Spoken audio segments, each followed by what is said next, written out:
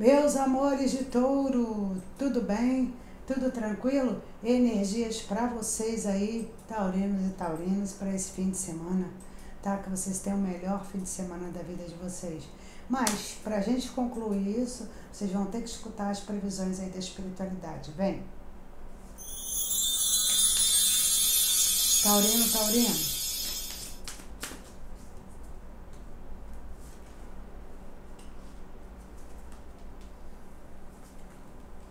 Eita, energia forte de reconciliação.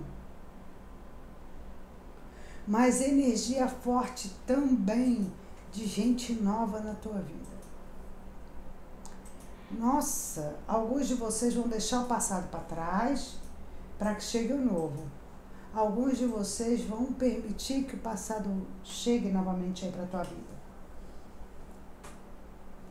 É, tá certo, né?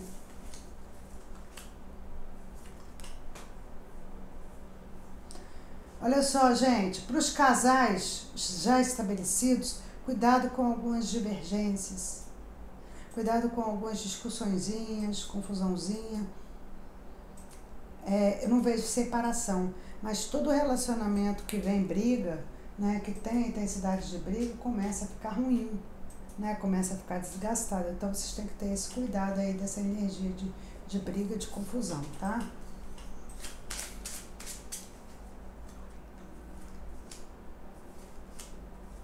Eu falei de novidade no amor, novo e, e quem estava afastado, realmente ó, intensificou aí. Galerinha de todo que está esperando isso, beleza.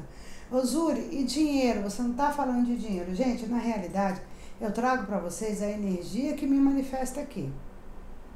Se não mostrar, não vou falar. E mesmo que não seja dentro do jogo, pela minha evidência, tá? Eu vejo que quem está bem vai continuar bem. Quem está tentando, pode ser que tenha oportunidade aí durante a semana, tá? Isso já é meu visionário, ok? Dentro de uma espiritualidade já, né? Comprimida, minha. Então, é, o único alerta que me deu aqui são discussões aí em relacionamentos e mesmo, gente, que não seja relacionamento amoroso Pode ser uma discussãozinha, né, entre filhos, entre família ou até mesmo entre amigos, mas são energias que a gente deve evitar, concorda?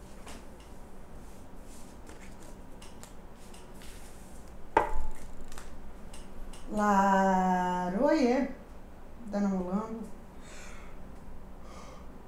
Desculpa, gente. A carta do navio, movimentação. É, é um dia de movimentação, de repente você saindo para algum lugar, ou potencializando aí uma ideia de viagem, fazendo a viagem, mesmo que curta, mês de férias, né? E aqui potencializou o quê? A carta da,